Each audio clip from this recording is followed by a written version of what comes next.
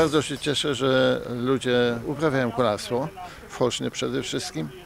Y, Od tak dawna organizujemy tą imprezę dla amatorów, nie dla jakichś gigantów, tylko dla ludzi, którzy na rowerze robią swoją rekreację, poświęcają swój cz- czas wolny i mamy z tego satysfakcję, że tylu ludzi w Chosznie uprawia kolarstwo.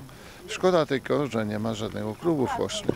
Y, Gdyby to było, byłoby to całkowicie inaczej, ale jest tak jak jest.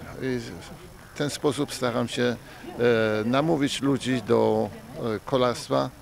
Oczywiście udaje mi się, bo co roku jest coraz więcej uczestników.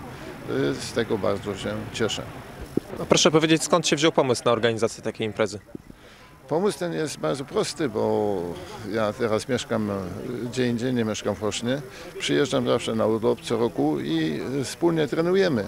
I ten pomysł się e, zrodził, żeby e, zorganizować jakąś imprezę taką, żeby wszyscy przyjechali. No, Na treningu zawsze jest parę osób, a teraz się okazuje, że mamy e, w Chosznie przeszło 40-50 kolarzy, którzy naprawdę wiedzą, jak rower wyścigowy wygląda. A proszę powiedzieć, jak frekwencja w dzisiejszym pikniku? W dzisiejszym wyścigu niestety frekwencja jest trochę niższa niż w zeszłym roku, ale tylko z tego powodu, że są Mistrzostwa Polski w gravelu i tam pojechało kilku ludzi, a następny wyścig to jest w Gryficach, gdzie jest maraton i tam też pojechało chyba sześciu ludzi z Choszna na ten e, maraton. E, Oczywiście ci ludzie, którzy mają trochę więcej e, czasu na, na trenowanie i e, poświęcają to, jadą na wyścigi, które są punktowane i chcą zająć jakieś miejsce. A proszę powiedzieć, jakie nagrody przygotowano dla zwycięzców?